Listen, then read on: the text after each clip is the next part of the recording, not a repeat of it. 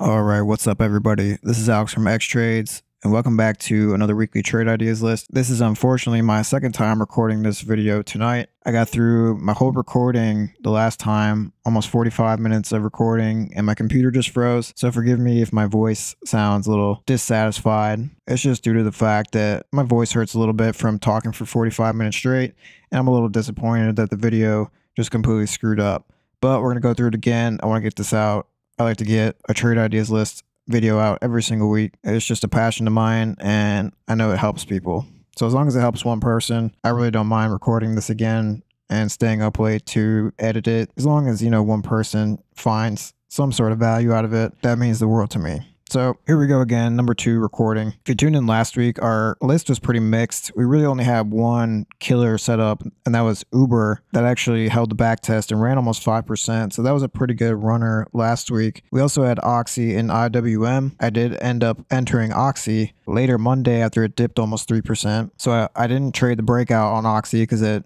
actually rejected and never happened. Then we also had IWM calls on watch, and that ended up breaking out, but did not have fall through. It actually fell back within the downtrend line. Overall, it did hold up the support pretty good around the 200s, lower 200s at the bottom of the demand zone. So I suppose you could have traded off of that.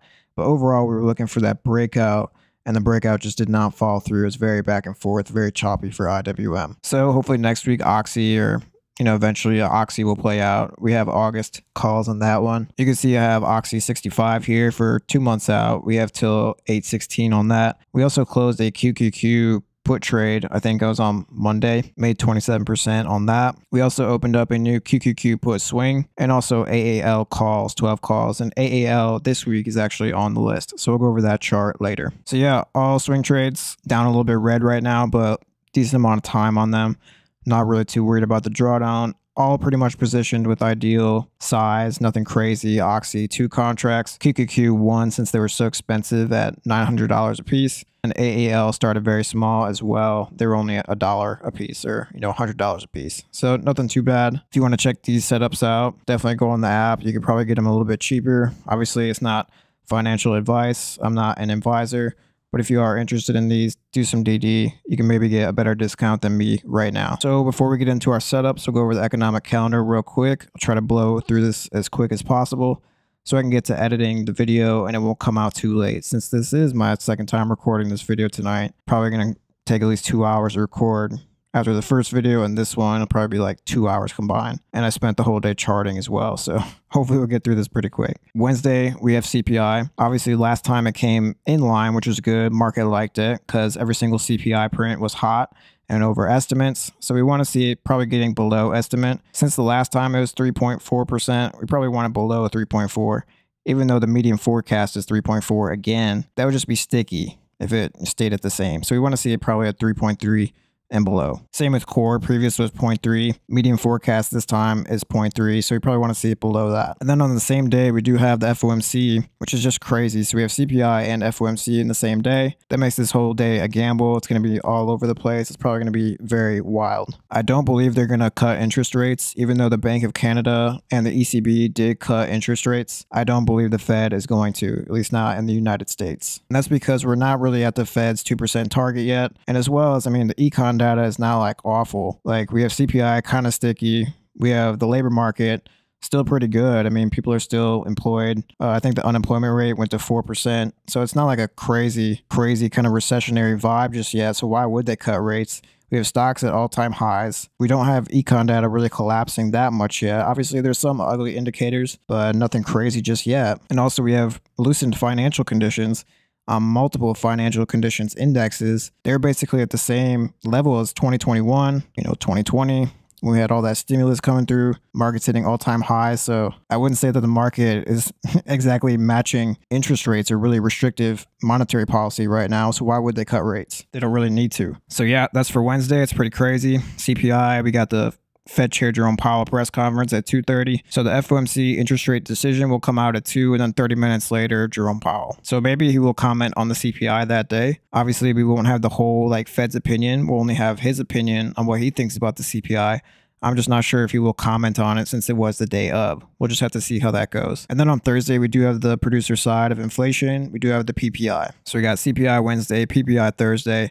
And then on Friday, we do have one important one. It's going to be consumer sentiment at 10. So really Wednesday and Thursday are your most important, with Friday being third most important for consumer sentiment. All right, not to seasonality. We'll try to go through this pretty quick we do have June 10th to the 27th here. And that's because I wanted to show you the probabilities here over the last 20 years. We have winning trades at 65% with a whopping 30% of summarized profit. So if you went short this period from the 10th to the 27th of June, you would have won 65% of the time and made a 30% summarized profit just by shorting. Now, if we go to the 10 year data set, winning trades actually goes down to 60% with summarized profit at 15% the last 10 years. So it's pretty similar. There's still a pullback kind of historically here. But I mean, both data sets, 10 year and 20 year, both good summarized profit, both decent winning trade probability over the last 10 and 20 years. We could change this to this week. So we'll go from the 10th to the 14th, see how that looks. So for this week on the 10 year, we only have winning trades at 50%. So if you went short this week coming up, the last 10 years, you still would have made a summarized profit of 9%, which is good. So you still would have came out positive, but you would have only won 50% of the time. If we go to the 20 year data set for this week coming up, we only have winning trades at 37% and summarized profit at 5%. But overall, you still did come out positive if you went short this period, the last 20 years. Even though you only would have won 37% of the time, you still came out with a profit. So actually, the most recent data set, a little bit higher win rate, a little bit higher summarized profit than the 20 year data set. But overall, this week still kind of averages a pullback. We'll see how that goes. And then as well, actually, the pullback averages from now till the end of June as well, at least till the 27th or so. So seasonality is looking a little bit bearish, especially over the whole month. We'll see how that goes. Obviously, market's not really flashing a crazy bear signal yet, but we are at some pretty high levels. All right, on to the setups. We'll try to get through this as quick as possible. We do have AAL, or American Airlines, is our first one. I'm actually already in this, so if you do enter, you probably will be getting a better price for calls than me for September. I really recommend anything if you're going to try to bottom pick or try to buy something that's very oversold or kind of just kind of still in a downtrend like this, you definitely want to buy time because you want to be able to deal with drawdown risk if it wants to kind of pull back further, continue the downtrend, etc.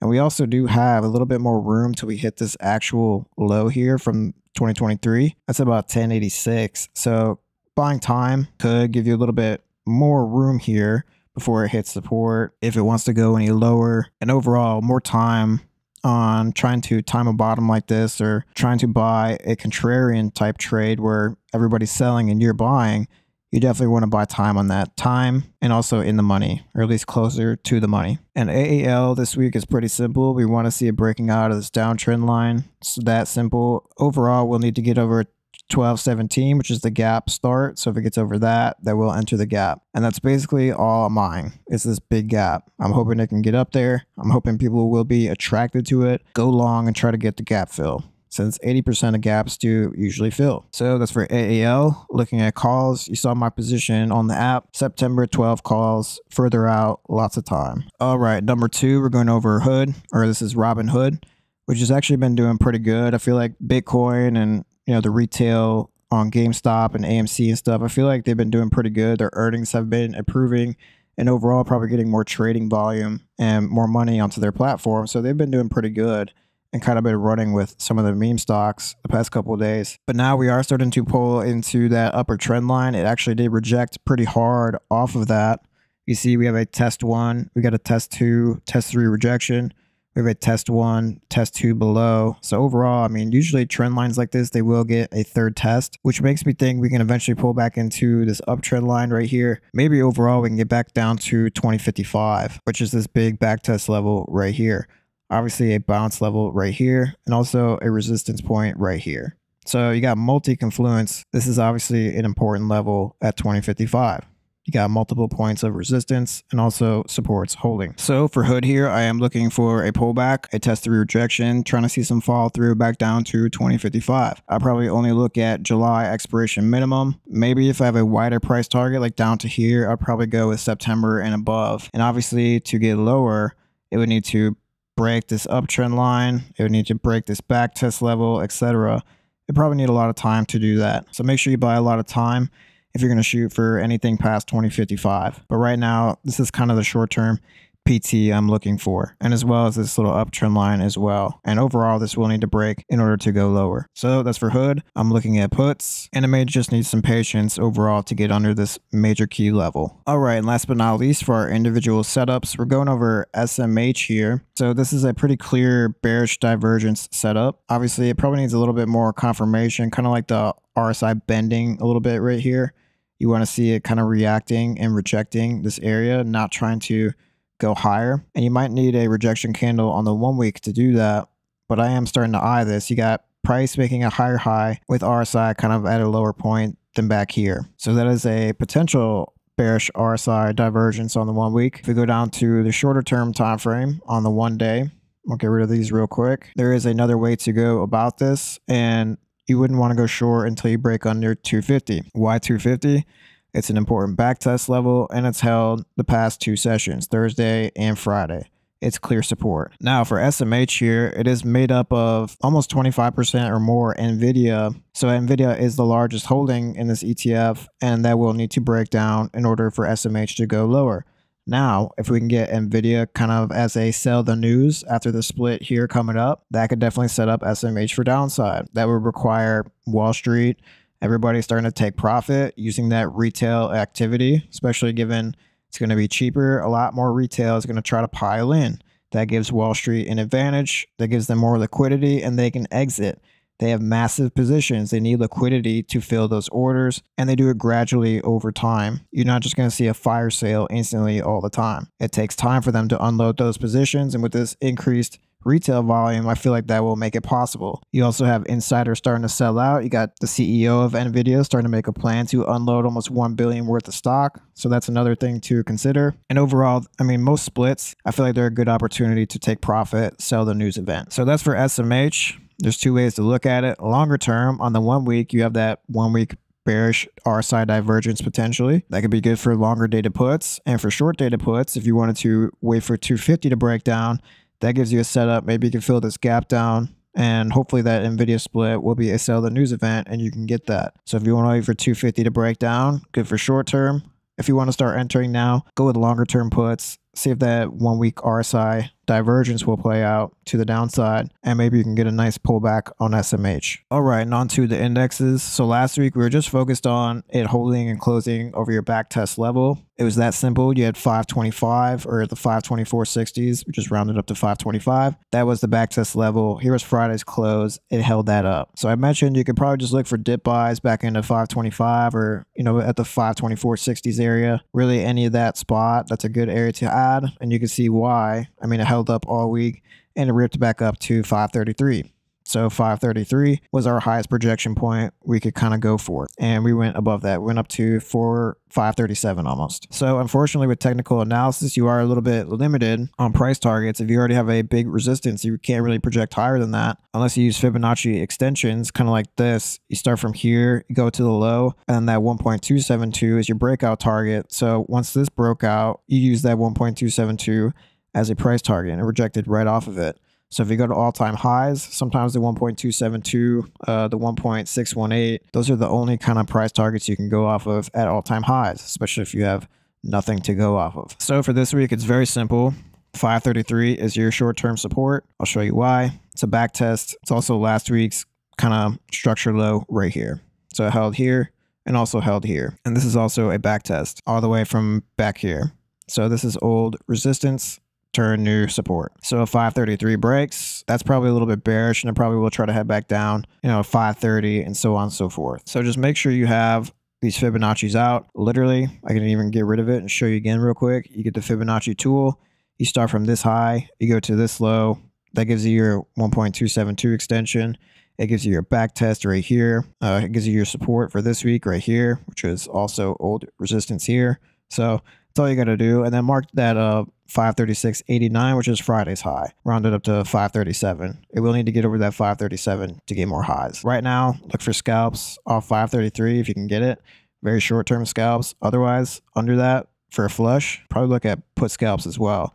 As long as you have VIX correlating ramping up. That 533 flush could be good for a put trade. So that's for SPY. So that's simple this week. 533 is nearby. You got the Friday's high 537. You need to hold over this. Otherwise, you can flush back into the moving averages and also your old back test around 525. All right, on to QQQ. So for this week, it's very similar to SPY.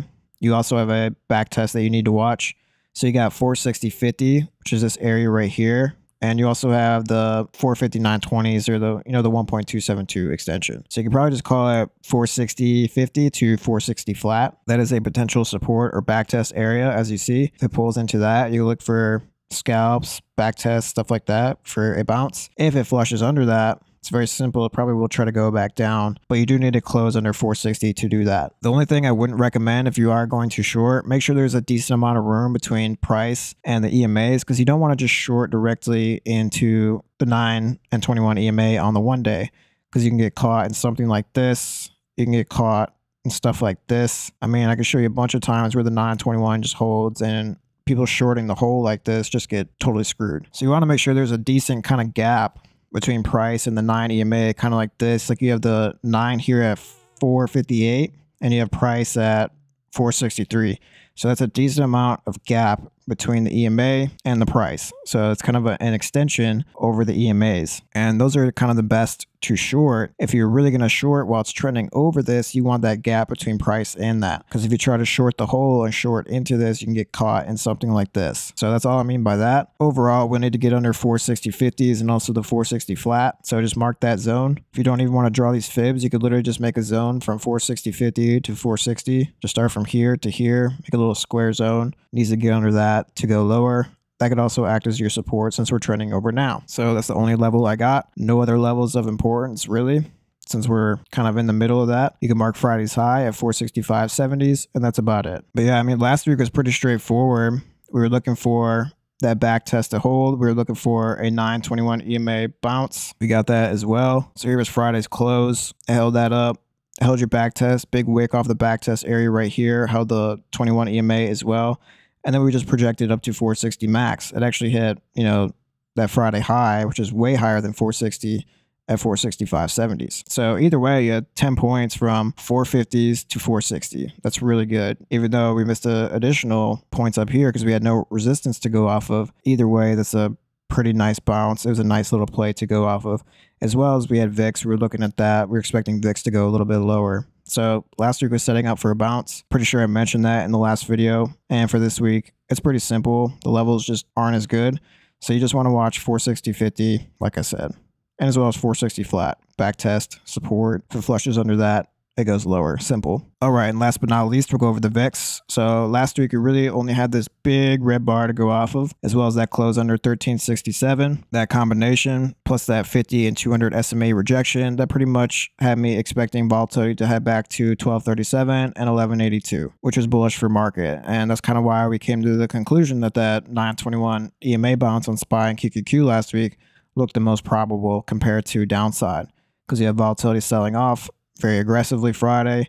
We had closes under the major volatility signal at 1367. So 1367 has kind of been our volatility point. We want to see getting over that for the market to be bearish. Uh, it fell back under that. So, and really every time volatility goes back under 1367, you really do have these kind of aggressive flushes, especially recently.